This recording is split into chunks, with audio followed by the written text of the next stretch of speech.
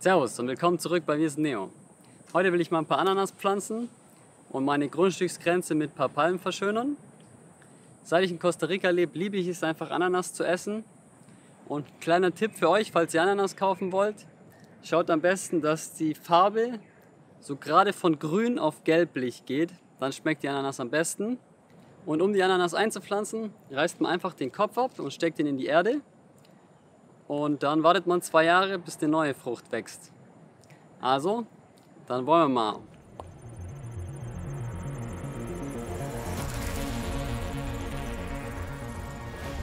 So, hier ist meine Ananas Collection. Also Ananas ist meine absolute Lieblingsfrucht.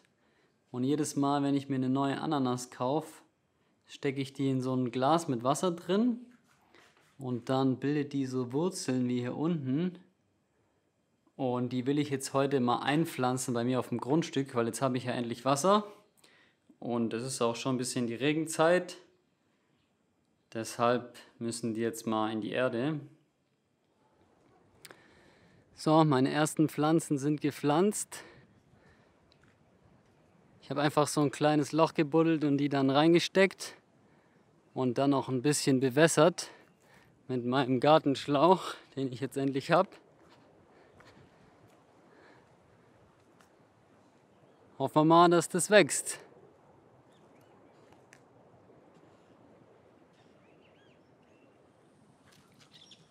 So, heute will ich mich mal um meinen Holzhaufen kümmern.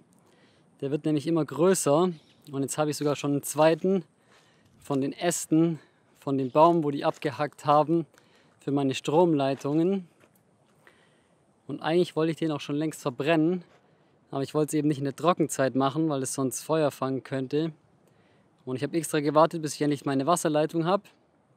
Und dann, als ich sie hatte, hat es angefangen zu regnen. Richtig heftig die letzten Tage. Und dann war alles feucht. Und dann konnte ich es nicht mehr machen. Und heute war ein bisschen Sonne. Jetzt habe ich das hier mal zum Trocknen ausgelegt.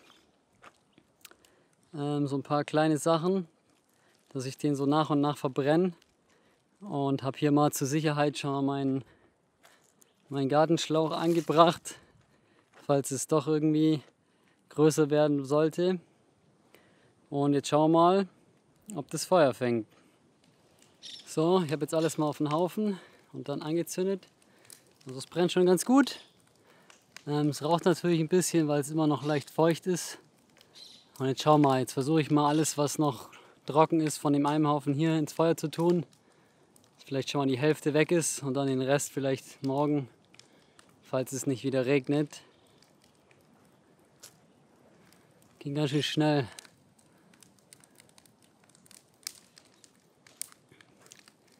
Das Feuer wird immer größer. Der Haufen da drüben wird immer kleiner. Aber es ist noch so viel. Puh, das ist viel Arbeit. Aber dann ist es endlich mal aus dem Weg. So, das Feuer brennt jetzt schon seit ein paar Stunden. Ich habe immer wieder was nachgelegt. Aber mein anderer Haufen ist immer noch riesig. Also mich ärgert es echt, dass ich das nicht immer gleich verbrannt habe. Weil das ist jetzt alles feucht und ineinander verheddert und einfach ein Riesenhaufen Arbeit. Bis das mal alles weg ist. So, jetzt ist es fast dunkel. Es brennt immer noch. Aber jetzt höre ich dann auf und warte einfach, bis es ausgeht und schaue mir das jetzt noch so ein bisschen an. Eigentlich ganz schön.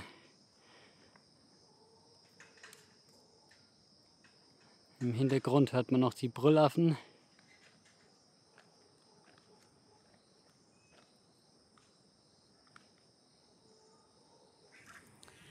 So sieht es jetzt nach drei Tagen aus.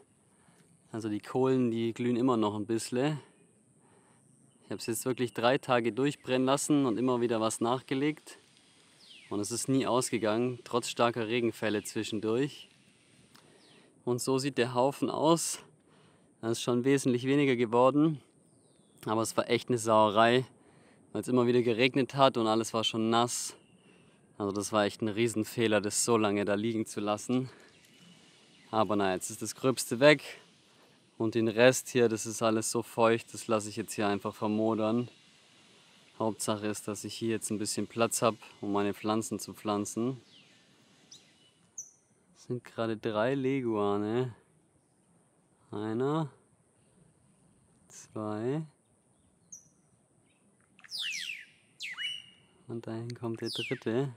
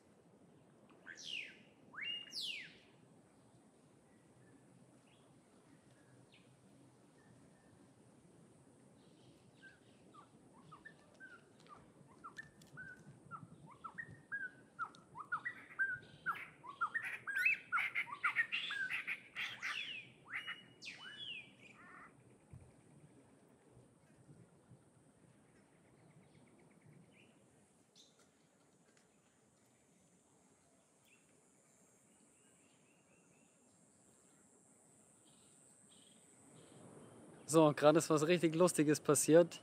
Und zwar wollte ich mir für meine Grundstücksgrenze vorne ein paar Pflanzen bestellen mit dem Namen Planteras multiplex oder auch Multiplex. Und da hatte ich mir eben schon einen Händler rausgesucht, bei dem hat eine Pflanze 9000 Kolonnes gekostet. Also das sind ungefähr 16 Dollar. Und das war halt ein bisschen teuer, weil ich ja mindestens 20 Pflanzen brauche, weil ich muss 20 Meter überbrücken. Und dann habe ich einfach mal zum Spaß auf Facebook Marketplace geschaut. Und da habe ich dann einen Anbieter gefunden, wo eine Pflanze 2500 Kolonnes kostet. Also wären das ungefähr 5 Dollar. Und habe den einfach mal angeschrieben. Und er hat auch direkt geantwortet und meinte, ja, also für, für 50 Dollar ähm, ist er in einer, in einer halben Stunde bei mir. Und dachte mir so, äh, okay, damit habe ich überhaupt nicht gerechnet. Ich war null vorbereitet. Und ja, dann habe ich einfach gesagt, okay. Ähm, und er meinte, ja, er ist schon auf dem Weg in seinem Truck. Und dann musste ich erstmal ganz schnell mich anziehen und mich fertig machen und zu meinem Grundstück. Und dann kam er eigentlich schon, ja, und jetzt sind die Pflanzen schon hier. Und jetzt habe ich mir direkt mal äh, 30 Stück gekauft für 180 Dollar insgesamt. Ähm, ja, so schnell kann es gehen. So sehen die Pflanzen aus. Also wir haben es jetzt einfach mal so grob dahingestellt. Die sind noch ein bisschen relativ klein, aber der meinte, in einem halben Jahr wachsen die doppelt so hoch. Also dann sind sie schon so fast eineinhalb bis zwei Meter hoch. Dann kann man schon eigentlich nicht mehr reingucken, weil jetzt ist ja gerade die Regenzeit. Es wächst hier sehr schnell. Und ja, das muss ich jetzt nochmal alles schön abmessen und dann einpflanzen. Und wie man sieht, ist mein Grundstück auch schon richtig grün geworden jetzt in den letzten paar Wochen. Also es hat hier zwei Wochen richtig geschüttet und schon ist alles wieder grün. Also es ist so krass, wie schnell das hier geht. Deswegen ist jetzt eigentlich eine gute Zeit, um Sachen einzupflanzen. So, ich habe jetzt hier ein Loch gebuddelt, wo der Sack gerade so reingeht. Und dann reiße ich den auf.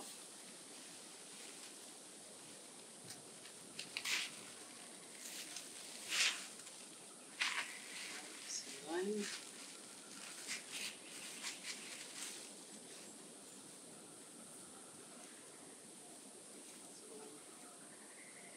Dann das wieder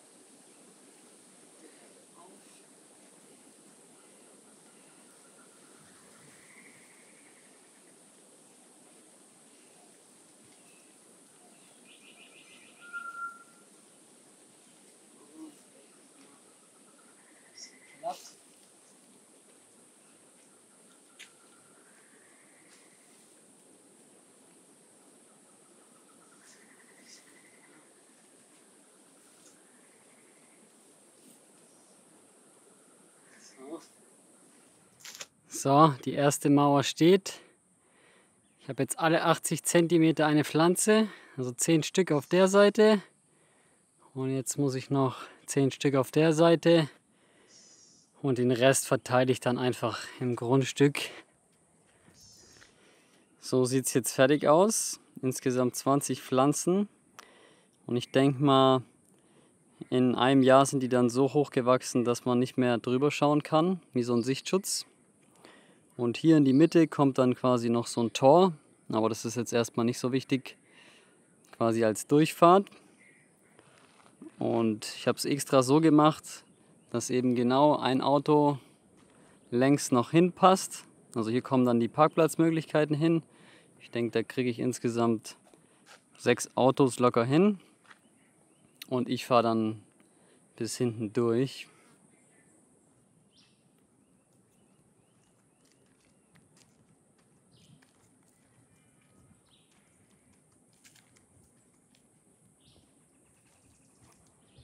Die paar Pflanzen, die noch übrig waren, habe ich jetzt mal um meinen Container rum angepflanzt. Also da ist eine, da ist noch eine und hier noch drei Stück. Quasi so als Sichtschutz, weil dahinter kommt ja das erste Haus hin, dass das dann so ein bisschen abgegrenzt ist. Ja, so langsam wird es richtig grün hier.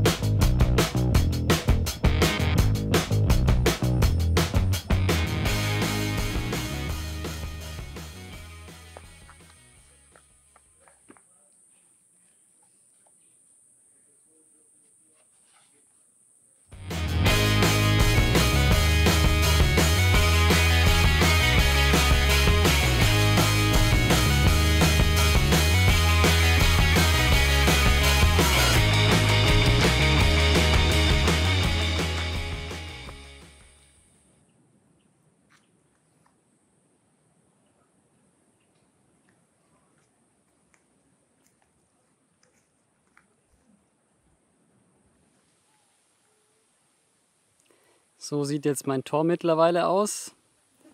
Also ich habe da einfach eine Kette dazwischen gehängt mit einem Schloss, dass wenigstens keiner mehr in mein Grundstück reinfahren kann.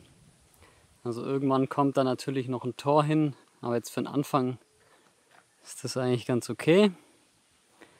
Und hier sieht man jetzt auch mal, wie grün alles schon geworden ist. Also innerhalb von eineinhalb Monaten ist es von komplett trocken bis ein Meter hohem Gras. Ja, das muss ich mal langsam schneiden. Da sieht man noch meine Feuerstelle.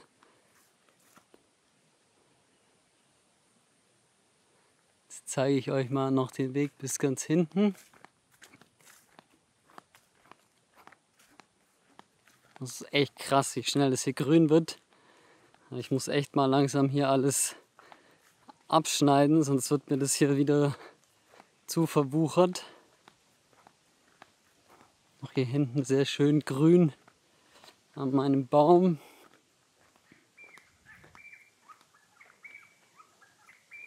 Mal schauen, wie die Ananas aussehen.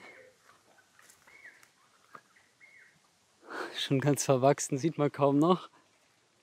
Da ist noch eine. Ja, der Rest wächst irgendwie schneller. Aber ich glaube, Ananas brauchen einfach lange. Also die brauchen so zwei Jahre, bis da eine Frucht rankommt.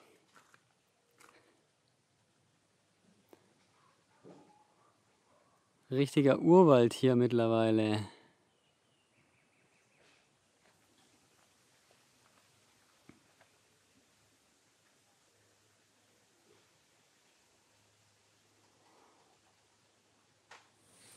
So, danke fürs Zuschauen. Wie man um mich herum sieht, wächst das Gras hier so wahnsinnig schnell dass es innerhalb von zwei Monaten schon größer ist wie ich. Ja. Also ich muss das hier jetzt echt mal langsam abcutten, sonst ähm, nimmt es hier überhand. Und ja, in der nächsten Folge werde ich dann das Dach für mein Containerdesign und schon mal mit den Holzarbeiten anfangen. Und falls ihr die letzte Episode verpasst habt, könnt ihr euch hier nochmal anschauen, wo ich den Stromzähler und den Wasserzähler anschließe. Also bis zum nächsten Mal. Pura vida.